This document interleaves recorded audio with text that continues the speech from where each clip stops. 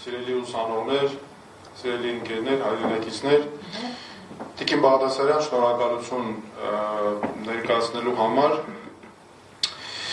եւ միջոցառումը կազմակերպելու հարցում նաեւ ձեր աջակցության համար։ Իմ ներկայացման կամ զեկույցի հիմնական թեման վերաբերում է երկու հիմնարար հարցի, գլխավորապես երկու հիմնարար հարց է քննարկվելու։ Առաջինն առնչվում է ադրբեջանական ռազմավարությանը Արցախում կամ Լեռնային Ղարաբաղում էթնիկ զտումներ իրականացնելիս եւ երկրորդը վերաբերում է Հայաստանի Հանրապետության արդեն սահմանային անվտանգության անվտանգությանը եւ այն փաստերին, թե ինչ է իրականում տեղի ունենում եւ իհարկե նաեւ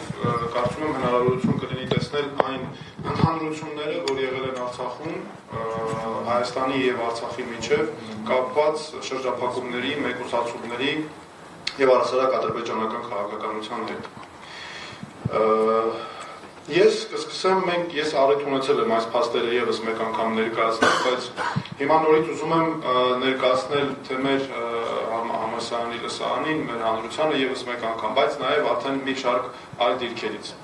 Նախ ակնհայտ է, որ Լեռնային Ղարաբաղում կամ Արցախում Ադրբեջանն ուներ լիարժեք հայաթափելու նպատակ եւ առասարակ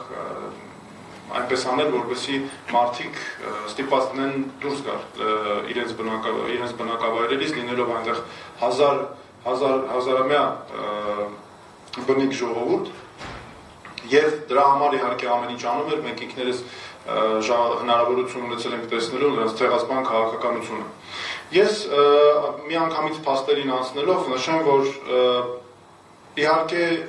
ադրբեջանն իր Արցախի լիարժեք արգելափակման կամ շրջափակման քաղաքականությունը սկսեց 2022 թվականի դեկտեմբերի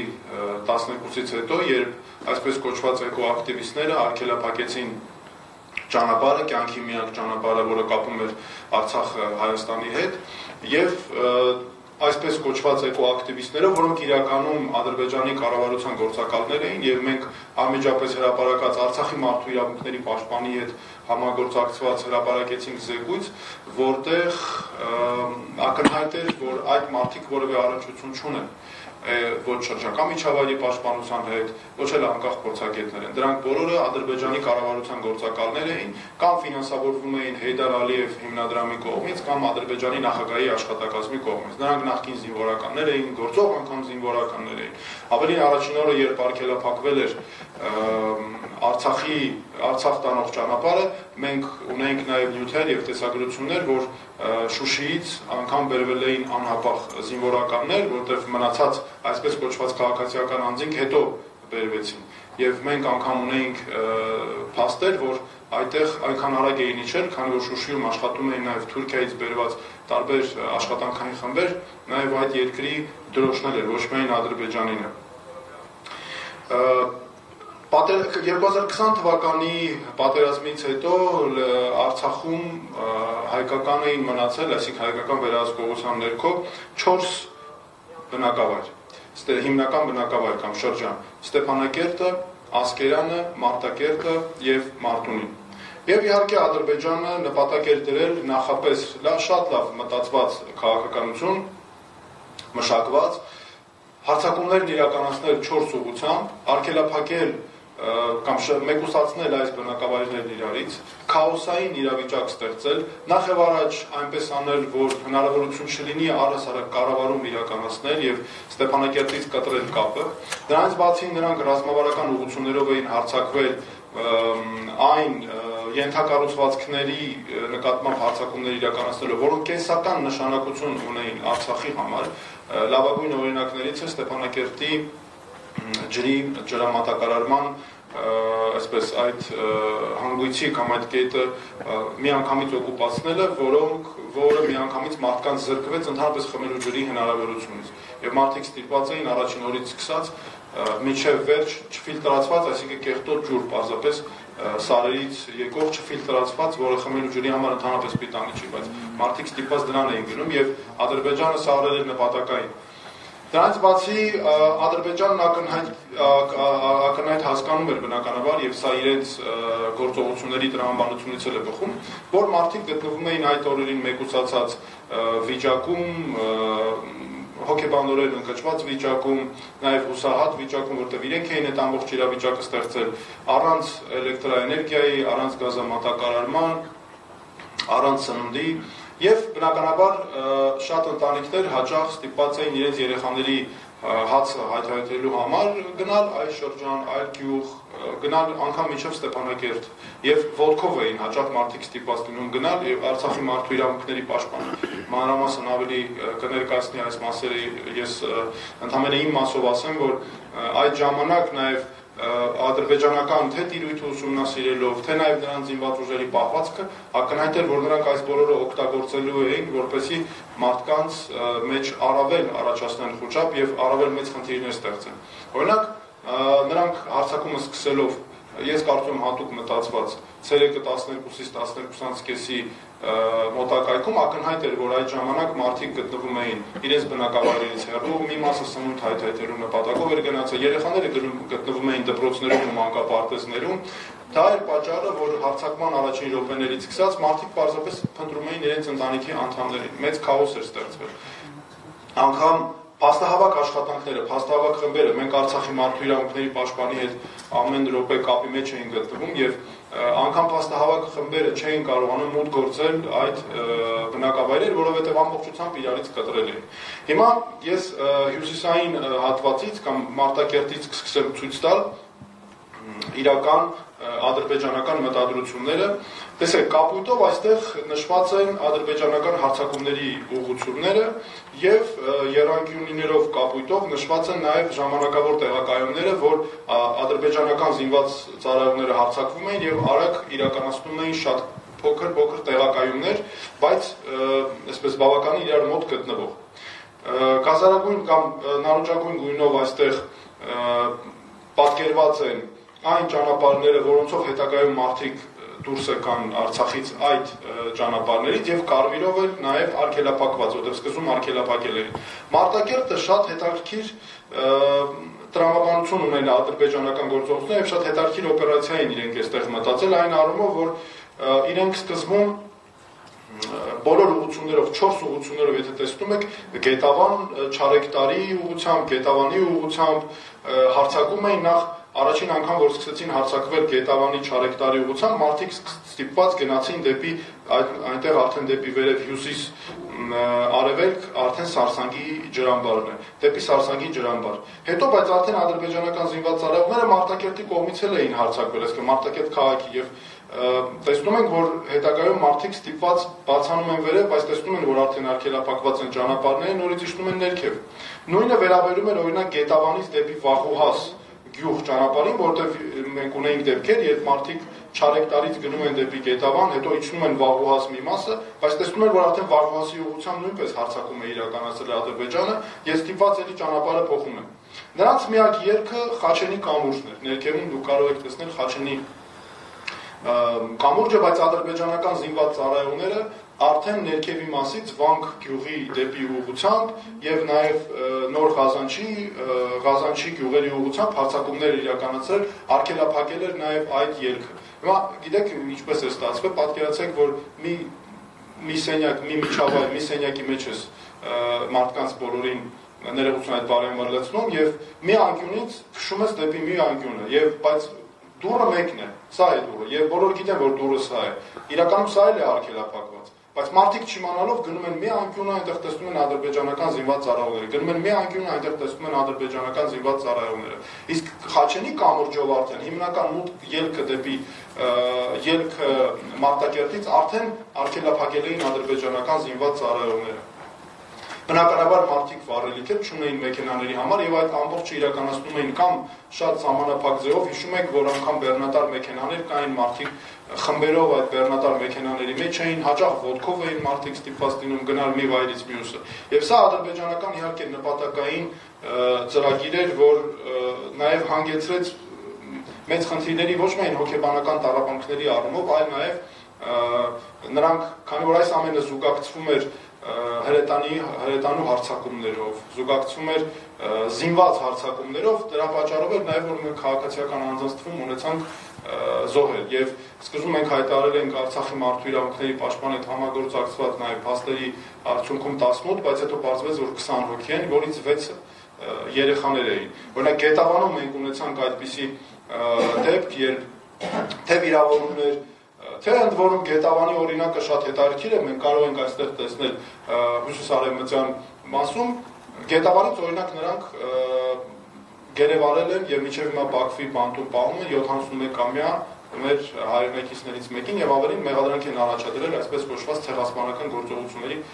մասնակցելու, այսպես կոչված Խոջալոյի ցեղասպանությանը։ Այս փաստերը օրինակ են, որոնք ապացուցում են, որ ադրբեջանական այն այսօրվա քաղաքականությունը, որ մարդիկ իրենք մարդկանց հետ խնդիր չեն ունեցել, մարդիկ կամավոր են դուրս եկել կամ իրենք էթնիկ զտում չեն իրականացել, ավելին իբր թե համոզել են, որ մարդիկ մնան, ամբողջը բնականաբար բացարձակ սուտ է, որովհետև այն մարդիկ, ովքեր ի վիճակի չեն եղել դուրս գալ, այն մարդիկ, ովքեր տարիքի կամ այլ պատճառներով նրանք կամ գերեվարվել են։ Մենք ունենք դեպքեր, երբ մարդիկ գերեվարվել են, որոշակի ժամանակ տարեց մարդիկ եւ այլն պահվել են ադրբեջանական զինված ծառայողների կողմից եւ բնականաբար ենթարկվել են նաեւ այդտեղ դաժան վերաբերմունքի։ Մենք կարող ենք հիմա այս մյուսը վերաբերում է Մարտունի Մարտունու շրջանին եւ կարող ենք տեսնել թե ինչպես կարմիրով նշված են այս այն բոլոր ճանապարհները, որոնցով մարդիկ կարող էին դուրս գալ, դուք տեսեք ինչպես են արգելափակել, շրջափակել ամբողջությամբ Մարտունի եւ մարդկանց լցրել են մեկ այսպես շրջանի մեջ պահել են, որպեսզի մարդիկ չկարողանան դուրս գալ։ Ես ուզում եմ հատուկ նշել, որ այս փաստերը ունեն բարձր աստիճանի հավաստիություն մենք պատասխանատու ենք յուրաքանչյուր տվյալի համար, սա մենք արել ենք Արցախի պաշտպանության բանակի իրավապաշտպանների Արցախի մարդու իրավունքների պաշտպանի աշխատակազմի մի շարք այլ մեր գործընկերների հետ համագործակցված եւ տարբեր աղբյուրներից ճշտված են սրանք եւ վերջնական դրա համար բարձր աստիճանի հավաստիություն ունեն եւ միջազգային լայն նաեւ օգտագործման են արժանանում եւ ներկայացնում ենք Մյուսը վերաբերում է արդեն Ասկերանին, դուք տեսնում եք, որ Ասկերանը այստեղ օթանավակայանն է դեպի հյուսիս արևմուտք ընկնող հատվածում եւ դուք հիշում եք հավանաբար որ այդ սեպտեմբերի 19-ի 20-ի եւ դրանից հետո հարցակումներից հատկապես հետո մարդիկ գնում էին դեպի օթանավակայան եւ սա գլխավորապես Ասկերանի, հենց Ասկերանի բնակիչներն էին, որոնք ստիպված էին այդ կողմ դեպի գնալ, որտեղ ադրբեջանական զինված հարձակումներն էին տեղի ունենում։ Ստեփանակերտի հետ կապված այստեղ կարող եք տեսնել սպիտակ գույնով Ստեփանակերտի վարչական սահմաններն են նշված։ Եվ հարցն այն է, որ ադրբեջանական զինված ծառայողները մի անգամից արգելափակել էին Ստեփանակերտից դուրս եկող բոլոր երկերը կամ հնարավորությունները։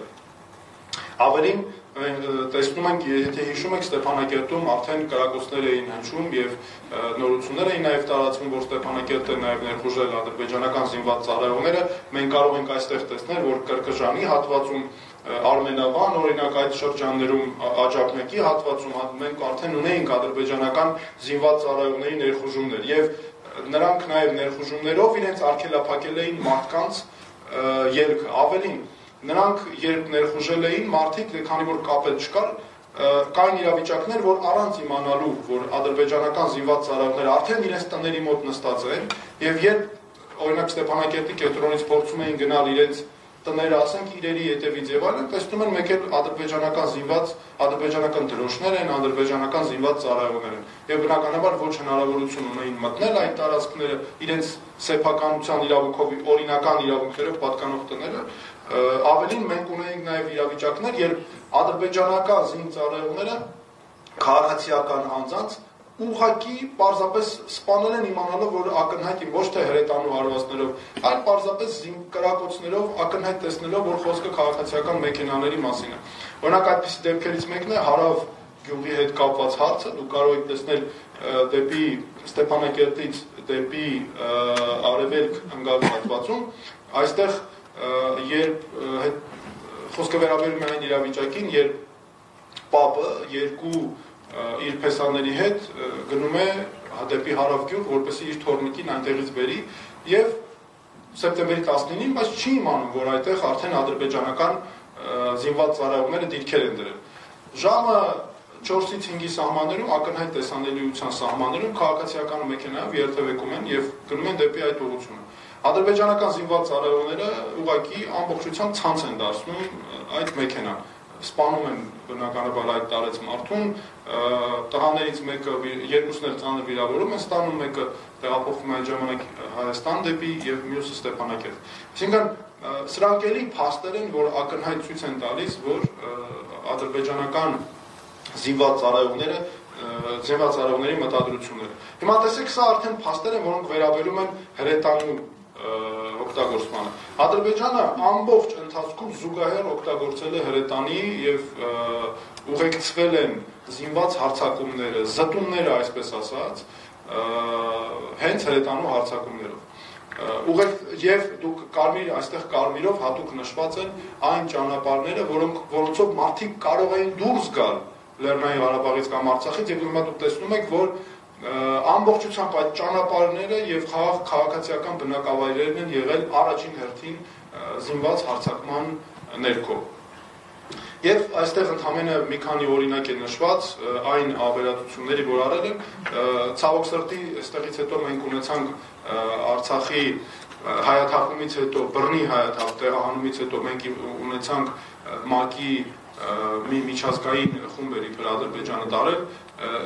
նրանք էլ հայտարարություններ էին տարածել, թե Արցախում էթնիկ զտումներ չի եղել։ Պարզապես դատապարտելի հայտարարություն, որովհետև իրականում միջազգային փաստահավաք խումբը, եթե այսօր կան աշխատանքներ, օրինակ պետք է տարվեն, ես ինքս էլ միջազգային խմբերի ժամանակ նշում եմ, որ կարևոր են օրինակ արձանագրելու համար մշակութային ժառանգությունը եւ այլն, էթնիկ զտումների փաստերը, բայց այդ փաստահավաք աշխատանքները պետք է նախ եւ առաջ ընթանան Հայաստանի եւ Արցախի փորձագետների, իրավասու մարդկանց հետ համագործակցությամբ, այլ ոչ թե Ադրբեջանի։ Որտեղ Ադրբեջանը ակնհայտ է, չէ, Ադրբեջանն ինչ է անելու։ Տանելու այն բայրերը ցույց տալ, որը որ իրեն ձեռնտու է, որը հնարավորություն կտա իրեն պնդելու, որ Արցախում որևէ տեսակի էթնիկ զտում չի եղել, հակառակը հայերն են իրականացրել ավերածությունները։ Եվ բնականաբար դա ադրբեջանական քաղաքականության մաս է։ Եվ գիտեք, ադրբեջանական զինված ծառայողները այս անգամ ինչ էին անում։ Նրանք Եթե հիշում եք 44 օրյա պատերազմի ժամանակ նաև հետո Հայաստանի նկատմամբ հարձակումների ժամանակ օրինակ 2022 թվականի սեպտեմբերի 13-ի 14-ի զինված հարձակումներ եւ այլն նրանք շատ ակտիվորեն տեսագրում էին իրենց ավերածությունները, հրապարակում էին, հպարտանում էին, ուրախանում էին ոգեշնչված լինելով ադրբեջանական իշխանությունների քաղաքականությամբ Այս անգամ հավանաբար կա իրենք այսպես քաղաքական հանձնարարական կամ ցուցում է եղել նման բաներ անում էին օրինակ շատ կարճ-կարճ տեսանյութերի միջոցով, որը մեզ շատ դժվարացնում էր փաստահավաք աշխատանքների ժամանակ իրականացնել ապացույցների ամրագրում։ Դրանցից օրինակը Չարեկտար գյուղի օրինակն է, դուք հավանաբար հիշում եք, որ ադրբեջանական զինված ծառայողները այդ ժամանակ մի քանի տեսանյութեր տարածեցին իրենց տելեգրամային ալիքներում, ընդ որում դրանք ամբողջությամբ համակարգվում են ադրբեջանական իշխանությունների կողմից, այդտեղ որևէ կասկած չկա, բոլոր ալիքները Եվ եթե հիշում եք, կարճ-կարճ տեսանյութեր էին տարածում, ինչպես են ադրբեջանական զինված ծառայողները կրակոցներ արձակում քաղաքացիական տների ուղղությամբ։ Ակնհայտ էր, որ այդտեղից չես կարողանում գրեթե բարձես դա որ գյուղն է, ինչ բնակավայր է, արդյոք Արցախն է, որտեղ կային տեսանյութեր, որ ընդհանրապես չի երևում եւ հետեւաբար միջազգային ասպարեզում աշխատանքների ժամանակ դա հիմա միջազգային գործընկեր է կարող է հարցնի ասել դե բայց դուք ինչպես կարող եք ապացուցել որ սա օրինակ Արցախն է եւ ոչ թե որևէ այլտեղ մենք իրականացրել ենք շատ մանրամասն ուսումնասիրություն եւ վերարտադրել ենք որոշ ապացույցներ ես ուզում ցույց տալ մի անգամ մեկ անգամ հրապարակել ենք բայց սա կարեւոր է կարծում եմ ցույց տալ համար սա 4 հեկտարն է դուք կարող եք տեսնել, որ ինչպես են ադրբեջանական զինված ծառայողները, այստեղ մենք քարտեզով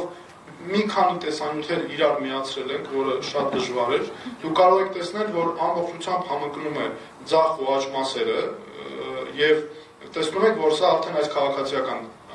իրականացնում են ոչ թե անկանոն, ոչ թե չգիտես, տենց պատահական, այլ մտադրված դիտավորյալ կրակոցներ քաղաքացիական տների ուղղությամբ, չէ, որտեղ ակնհայտ իմանալով, որ այնտեղ կարող է մարդիկ մնացածնեն եւ ավելին նրանք այդ այդ կրակոցները արձակում են այդ մարդկանց հնարավոր որ տներում մնացել են նրանց սպանելու նպատակով։ Ժամանակը հաշվի առնելով ես եւս մեկ բան եմ ուզում ներկայացնել Հայաստանի հետ կապված եւ ուզում եմ կարևոր համեմատություն իրականացնել։ Փաստերով համեմատություն, առանց զգաց զգացական ինչ որ այսպես էլեմենտների։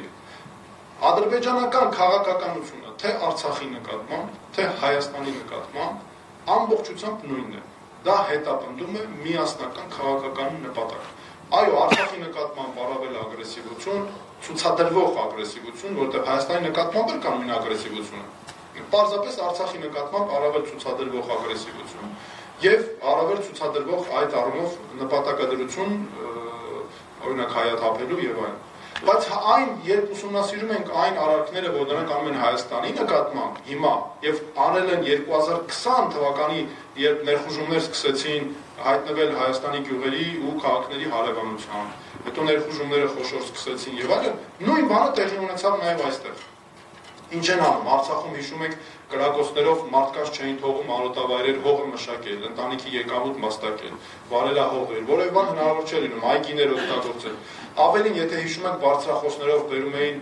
միացնում էին մարդկանց ահաբեկում էին, դուրս եկեք այստեղից, չգիտենք, ձեզ այս կանենք, այն կանենք։ Կրակոցներով, էլ Ադրբեջանի նախագահի ամենաբարձր մակարդակից սկսած ահաբեկելով մարդկանց սպառնելով պատերազմը ավելին նաև արգելափակում էին գյուղերի, ներոցում ջրի աղբյուրներ եւ այլն։ Հիմա Հայաստանի Հանրապետությունում Վայոց ձորում, Գեղարքունիքում եւ Սյունիքում այս պահին մենք ունենք նույն վիճակը մեկուսացումների առումով, որտեղ որ ադրբեջանական զինք ծառայողը եկել ինչ որ ձև մոտեցել է մեր գյուղերին կամ քաղաքներին։ Խոսքս ամենևին չի վերաբերում միայն ներխուժումների։ Ներխուժումները իհարկե այդտեղ ակնհայտ է, որ օկուպացված տարածքների դեպքում շատ ավելի է այսպես խնդիրը մի փոքր ուժ դաշնի տեղափոխում, բայց ցանկացած ադրբեջանական ներկայություն մեր որևէ գյուղի, քաղաքի հարևանությամբ ամբողջությամբ խաթարում է մարդկանց անվտանգությունը, ավերում է պարզապես մարդկանց նորմալ կյանքը։ Հիմա փետրվարի 13-ի միջադեպի հետ կապված այդ առիթ օգտագործելով ես մենք կարճ մի փոքր տեսանյութ երկու րոպե ընդհանրապես կցուցադրեմ, որտեղ փաստերով կներկայացնենք թե ինչ վիճակ է մեր երկրում ներ փոքր ընդամենը մեկ գյուղի օրինակով, ներքին հանդ գյուղի օրինակով։ Տեսեք, ներքին հանդը երեք կողմից շրջափակված է ադրբեջանական զինված ծառայողներով։ Մենք հաշվել ենք, իրականացրել ենք, ես այս իրականացրել եմ փաստահավաք աշխատանքների մեր աշխատակազմով, 25 զինված դիրք մենակ կա փոքր ներքին հանդ գյուղը շրջափակած։ Ընդ որում սրանք հիմա տեսեք միայն այս ներկայությունը նրանցից այս դիրքերից նաև մենք իրականացել ենք փաստավակ աշխատանքներով ողրզել ենք այն դիրքերը, որոնցից ադրբեջանական զինված ծառայողները սպանել էին մեր զինծառայողներին 4։ Տեսեք, սրանք այն դիրքերն են, բարձր ճշգրտությամբ սրանք տվյալներ են, այս կարմիրով նշված դիրքերից է, որ սպանվել էին ներքին հանդում մեր զինծառայողները։ Մենք իհարկե նաև գիտենք, թե որոտեղ էին մեր դիրքերը, բայց այս մտադրված դրանք հատուկ չեմ հրապարակում եւ երբեք դա չեն կանում, բայց ցանկ ադրբեջանական դիրքերն են եւ տեսնում ենք նաեւ որ նրանք Հայաստանի Հանրապետության այդ դիրքերից այն մեկը մի փոքր այն կողմ է, բայց այն մնացածը Հայաստանի Հանրապետության ներսում են գտնվում։ Ավելին դիրքերից մեկը շատ մեծ ներխուժում ունի դեպի Հայաստանի Հանրապետություն։ Ադրբեջանական Հիմա օրինակ տեսեք, մենք այստեղ ունենք ադրբեջանական զինված դիրք, որը մինչև 2 կիլոմետր ներողություն 2 կիլոմետր եւ ավելին Հայաստանի Հանրապետության ներսում է գտնվում, այսինքն դեպի դեպի խորքը։ Հիմա կարող եք նաև տեսնել, որ ադրբեջանական զինված արարողների հայտնվելուց հետո գյուղի դպրոց, քաղաքացիական տներ, գյուղի ակումբ, ամբողջին այն անհրաժեշտ է մարդկանց կենսագործունեության համար գտնվում է ադրբեջանական օկուպացիայի ներքո։ Հիմա սա դպրոցն է։ 700 մետր մի փոքր ավել ադրբեջանական դրանից հետո ադրբեջանական դիրքն է։ այդ գյուղի մոտ կանգնում ես, եթե ձայն չհանես, մի փոքր լուր մնաս, Պարզ լսում ես ինչ են ադրբեջանական զինված ծառայողները խոսում, այսինքն եթե լեզուն հասկանաս, կլսես նաև ինչ են խոսում։ Այդ աստիճան մոտ են նրանք եւ մեր երեխաները ամեն օր պատուհանից ստիպված այդ ադրբեջանական զինված դիրքը հենց դիպուկահարներով, որտեղ օրինակ նրանք մեր զինծառայողներին սպանել էին դիպուկահարներից փետրվարի 13։ Դու երբեք չգիտես, չէ՞, այդ դիրքում ինչ տեսակի զինծառայող է կամ ինչ զինատեսակներ են արկա։ Եվ այս սա հենց էլի այն դիրքից է, որը ներխուժવા գտնվում է Հայաստանի Հանրապետության ներսում։ Սա հիմա այս մեկը որ կներկայացնեմ, տեսեք, սա ջրի ակունքն է։ Կարմիրով արված նշանը ջրի ակունք, խմելու ջրի ակունքներն են։ Դիտավորյալ օկուպացված այս մասում թույլ չեն տալիս բնականաբար մարդիկ չեն կարողանում մտնել, որի պատճառով մարդիկ այդ որ այդքան եւ մենք ասում ենք խմելու ջուր չունեն, Ընդ որում սա մենակ Սյունիքում չի, մենք Գեղարքունիքում էլ ունենք այդպիսի իրավիճակ, եւ ջրի ակունքները փակել էին ամբողջությամբ ներխուժելով։ Եվ հիմա Սյունիքում մարդիկ ստիպված գետի ջուր են օգտագործում այդ թվում խմելու համար, այդ ադրբեջանական զինված ծառայողների ներխուժումների պատճառով։ Մենք այստեղ ունենք նաև որ մարդիկ չեն կարողանում օգտագործել գերեզմանոցը, այսինքն իրենց հարազատների շիրիմներին այցելել եւ այլն, նոր թաղումներ, եթե մարդիկ են մահանում, եկեղեցին ու գերեզմանոցը գտնվում են ադրբեջանական շրջափակման կամ օկուպացիայի ներքո, այգիները, արոտավայրերը, հիմա դուք տեսնում եք արոտավայրերը, այգիները, վարելահողերը, խոտ հարկները, բոլորը ադրբեջանական։ Հիմա տեսեք, սա գյուղացու այգի է։ Ադրբեջանական զինծառայողը այնտեղ նստած է։ Հիմա ինչպես մարդը իրականացնի իր աշխատանքները։ Սա ուզում եմ այս տվյալի վրա ձեր ուշադրությունը հրավիրել։ Միայն օրինակ ներքին հանդ մեր փոքր գյուղից, բայց շատ կարևոր ռազմավարական նշանակության գյուղից եւ կարևորագույն նշանակության 2700 հեկտար օկուպացիա գտնվում է ադրբեջանական օկուպացիայի ներքո։ Մեր հավաքած փաստերի արդյունքում ենք արձանագրել, որից 100 2400 հեկտարը հատուկ պահպանվող հողեր են, 170 հեկտարը անտառային հողեր են, 130 հեկտարը համայնքային հողեր։ 2700-ից բացի եւս 1000-ը գտնվում է քանի որ վտանգավոր գոտում այսպես կոչված հնարավոր չէ օգտագործել։ Ադրբեջանական զինծառայողների հանցավոր պահվածքի բաղկացուցիչ մասը, նրանք որտեղ որ գալիս նստում են, Այդ տարածքից եւս 500 մետր, 1000 մետր, նայած այդ ինչպես է, այսպես հարթավայրային է, սարը, ինչ է, մարդիկ չեն կարողանում մոտենալ այլևս իրենց հողատարածքներին, որովհետև կրակում են։ Թույլ չեն տալիս, որ մարդիկ մոտենան։ Այսինքն, երբ մենք օկուպացիայի մասին խոսում ենք, մենք չպետք է գիտեք, մենակ խոսենք հենց ֆիզիկապես որտեղ նրանք նստած են։ Բայց դրանց դիմացը գտնվող միջև մի քանի կիլոմետր անգամ մարդիկ չեն կարողանում այդ տարածքները օգտագործել, չէ՞։ Բայց դրանք օկուպացիա չի։ Եթե դու մուտք չունես այդտեղ, դարձել է մեկուսացված մի վայր։ Մենք Հայաստանի Հանրապետություն ունենք Գեղարքունիքի մարզում, Սյունիքում վայրեր ունենք, որ շատ կներեք այդ բարի համար ծմակ է դարը։ Դու չես կարողանում այդ ամբողջությամբ կտրվել է հիմնական մասից մարդիկ չեն կարողանում ընդհանրապես այցելել եւ ամբողջությամբ ադրբեջանական զինծառայողների այդ անօրինական արարքների պատճառով։ Հիմա ես եւս մեկ կարևոր ուզում եմ տվյալ ցույց տամ, տեսեք, այս ադրբեջանական զինծառայողները հիմա հələ նայեք մեր անտառների վիճակը։ Սա ներքին հանդ գյուղն է։ Այս հատվածներում ամբողջ անտառներ են եղել։ Այստեղ մենակ միայն փոքր ճանապարհներ են եղել։ Այդ Ադրբեջանը ամբողջությամբ խոսում է ԱՄՆ-ը խոսում է շրջակա միջավայրից։ Արցախի հետ ճանապարհը արգելափակել էր, ասում էր, բան, էկոակտիվիստներն են շրջակա միջավայրի վնաս է պատճառում։ Բայց տեսեք մեր շրջակա միջավայրի վիճակը ինչ են անում այս հանցագործները։ Ամեն օր ճանապարհներ են նոր կառուցում, բետոնե ճանապարհներ, օրինակ Գեղարքունիքում է այդպես, օրինակ Ջերմուկում է այդպես, ինֆրաստրուկտուրային կառուցում, նոր ճանապարհներ եւ այլն։ Հիմա դուք տեսեք հələ մեր բնական միջավայրի վիճակը։ Սրանք անգամ եթե երբ օրինակ հեռանան մեր տարածքներից դուք պատկերացնում եք ինչքան ժամանակ է պետք վերականգնելու համար մեր բնական անտառների վիճակը եւ ամբողջ բնությունը։ Մյուս այնպես որ այս հարցերը շրջակա միջավայրի հետ կապված այս հարցերը նույնպես պետք է բարձրացնել եւ հասարակ իմ այս փաստերը ներկայացնելու նպատակն այն է որ մենք պետք է ադրբեջանական այս հանցավոր արարքների ամբողջ համալիրը ներկայացնենք, որտեղ նրանք այնպես չէ, որ գալիս են ֆիզիկապես միտեղ նստում են եւ այդպես մնում են նստած։ Տեսնում եք, որ ինչ աստիճանի վնաս են պատճառում։ Մյուսը, այս է շատ հիմա ես վերջին այսպես տվյալն եմ ներկայացնում, որ չափազանց կարևոր է։ Տեսեք, այս ադրբեջանական զինծառայողները ուրեմն ինչ են անում։ Երբ իրենց դիրքերը տեղադրում են Հայաստանի Հանրապետության տարածքում կամ առասարակ որևէ տեղ մեր քաղաքների ու գյուղերի հարևանության, իրենք նաև ականապատում են դա։ Օրինակ ներքին հանդում են իրականացնում են ականապատումներ։ Բայց իրենք ամբողջ օրը խոսում են ականապատման մասին, չէ՞, ականապատ դաշտեր, չգիտեմ ինչ, Արցախի հետ կապված։ Այս վերջերս էլ հայտարարել էին, որ իրենց ստացած որևէ քարտեզ չունի կամ քարտեզները չունեն ճշգրիտ տվյալներ։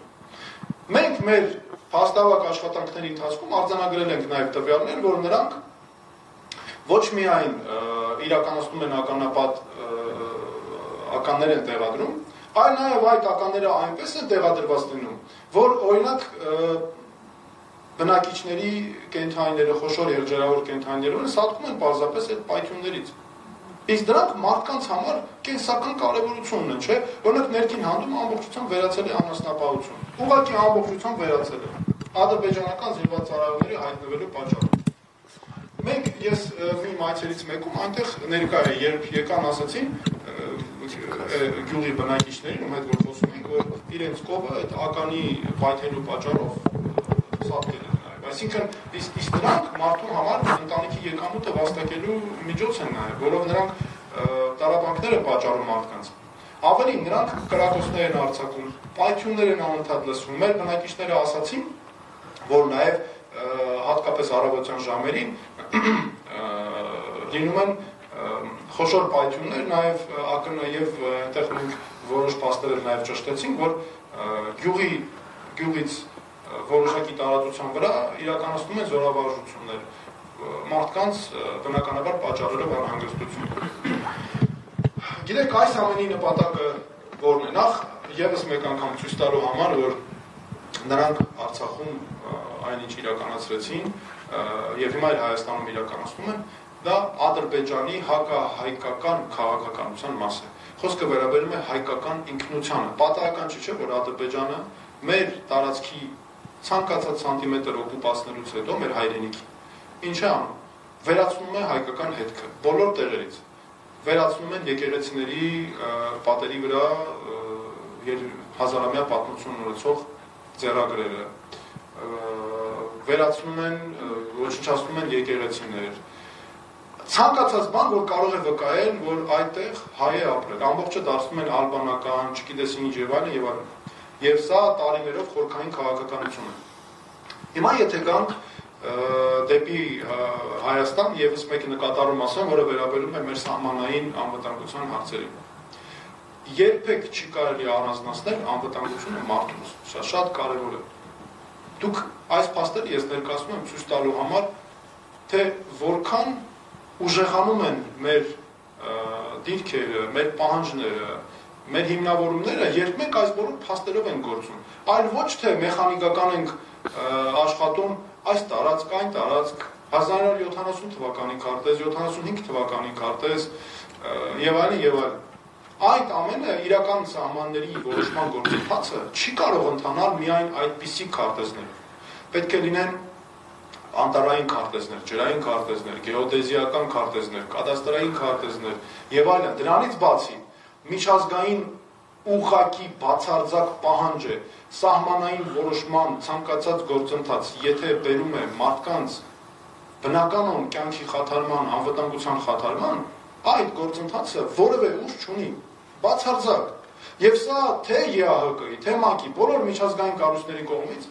կարևորագույն ընդունված չափանիշներ են, որը դրանք դարձնում են ապալեգիտիմ, այսինքն ան, անընդունելի առասարակ հակառակ պարագայում։ Խոսքս վերաբերում է բոլոր Հայաստանի Հանրապետության թե ներխուժած բոլոր այսպես վայրերին, բայց նաև այն բոլոր տեղերում, որտեղ ադրբեջանական գյուղերի, քաղաքների հարևանությամբ հայտնվել են